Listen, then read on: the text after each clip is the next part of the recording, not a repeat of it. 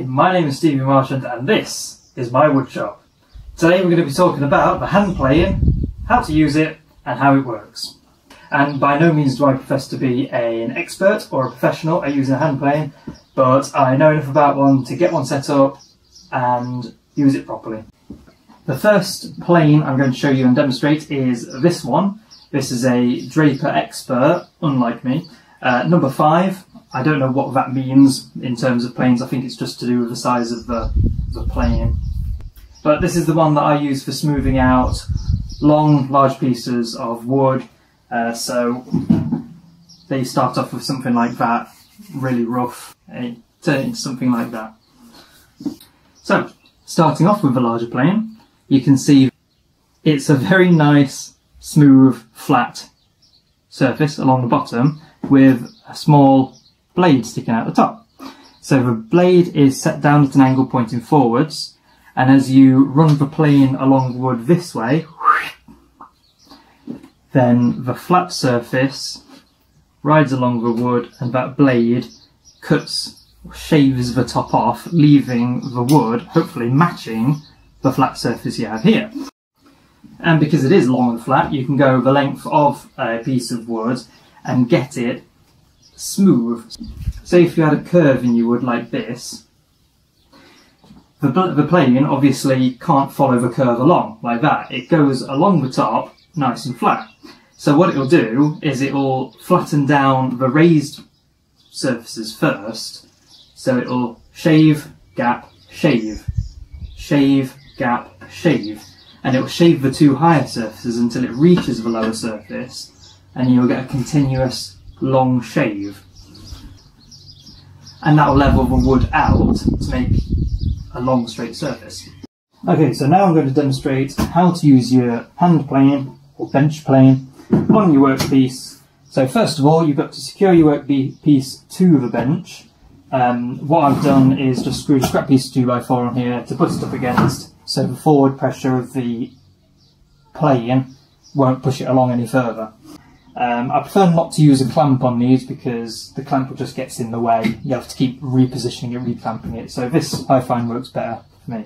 If it's a smaller piece, what I'll do is I'll screw a scrap piece in front of it and then another one behind and that stops it from moving backwards and forwards. So we've got the rough piece that we want planing facing upwards. Make, make sure our plane is properly set up. I'm going to link a video down in the description to Matt Estlea's video. Hope I pronounce his name right. Matt Estlea. Uh, he is the authority on setting up hand planes as far as I'm concerned.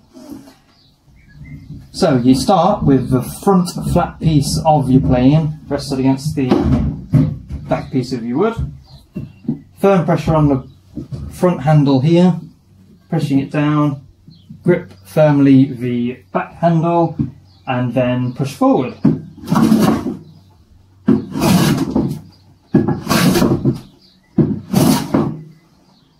And what you want to see is some wide thin wisps of wood like that.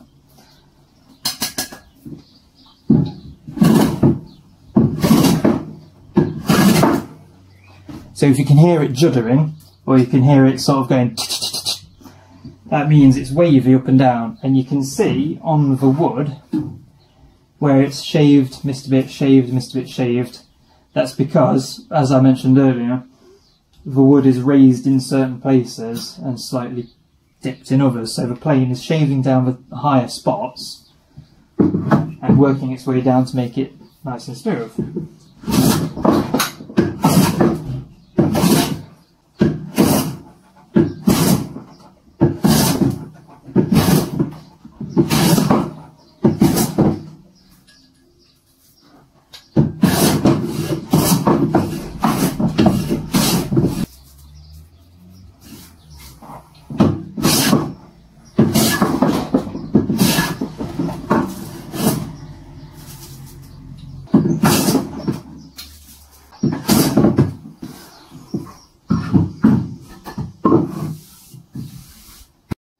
So one of the most satisfying parts of planing wood, not only do you get a nice smooth flat finish, you also get some very nice long, twisty bits of wood, and they just they're they're quite satisfying. and that really is all there is to know about the hand playing, um, other than obviously sharpening the blade and setting it up initially, which, like I said, Matt Estlea will very kindly show you in his video. So its main purpose, pretty much its only purpose, is to shave flat a piece of rough wood so it's nice and smooth and ready to work with. It's coffee time!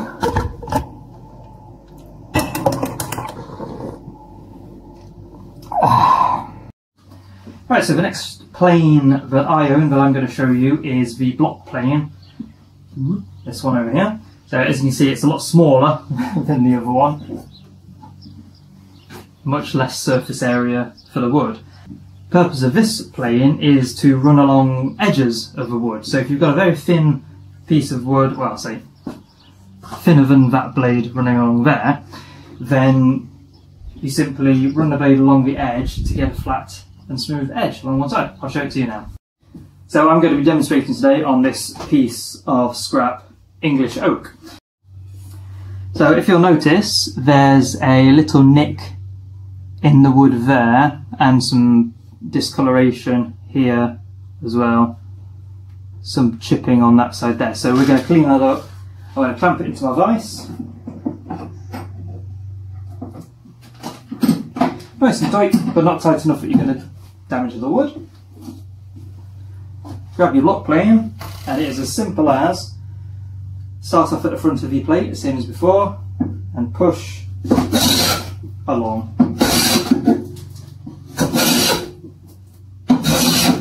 And same as with the other plane, you'll get these nice thin shavings. So that's when you know when your plane is set up properly, you'll get thin shavings of wood. And already the markings have disappeared. There's still that little nick in it there. So I'll give it another couple of goes.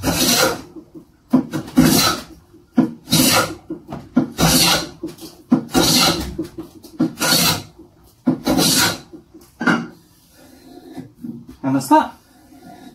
All gone. You can see along the wood there, no nicks, no discoloration. Okay, the third and final plane that I own is this little guy here, which is the spoke shave. And as you can see, it's got a very small planing surface on it, so it's not really designed for smoothing out long flat pieces of wood. Um, probably not very good for the edge either because it's a little bit wobbly. But what it do, does have is a pair of handles, one for each of your hands, and to use this you can either draw it towards you on the wood like that, or push it away from you on the wood. I'll just demonstrate that out for you. So the most useful thing about the spoke shave is that you can round edges, corners, um, on pieces of wood like this. So I'm going to be demonstrating again on the same piece of scrap oak as I had before. Clamp it up into my vise. What I'm going to do, I'm going to start by drawing it towards me. Like I said, you can do it either way. And take this corner off.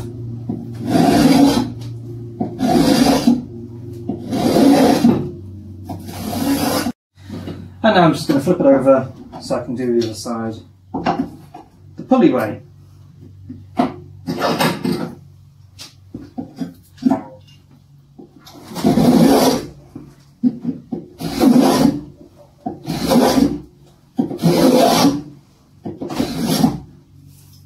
Shavings out of way. So similarly, uh, as before, nice little wispy bits. They'll be a lot thinner because you're only doing a corner at a time rather than the whole width of it.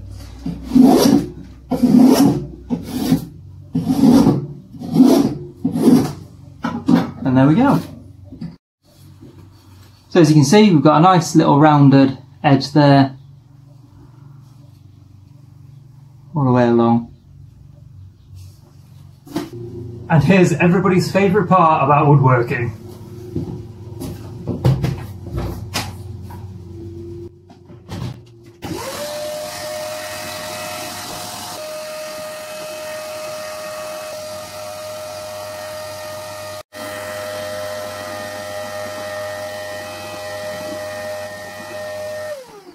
Okay, so just a quick uh, note about the price on these different blades. Uh, Spokeshave, this one cost me about £2 actually, it was on sale from uh, local woodworking shop. They usually go for about a fiver, these ones, that's cheap. The block plane, that's about 10 to 15 pounds, could be more depending on what brand you go for, the adjustability on it. This one literally adjusts in and out. and then lastly, the the Draper Expert, I got this one from Toolstation. This one was £25, uh, worth every penny, my opinion. You can get planes upwards of £100, you can get them cheaper depending on what size you want, what quality, you know, quality, what brand you're after, that kind of thing. Okay, so one of the most important things to remember about using a plane is that you should always cut along the direction of the grain. And basically what that means is that's, that's the direction that the tree grows in. So if you look at a piece of wood here that we use today, it's the lines going up here. You never plane across the grain of wood because you get so many chips tear out, your plane gets jammed.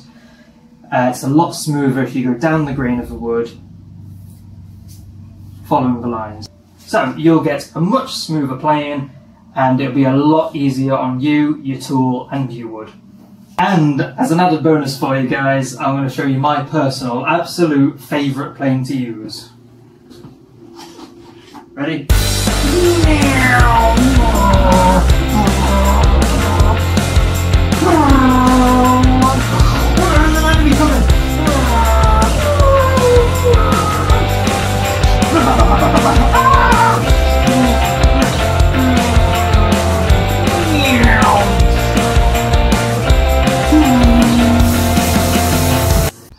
That from me. I hope you enjoyed this video. Please give it a thumbs up, hit the like button if you did.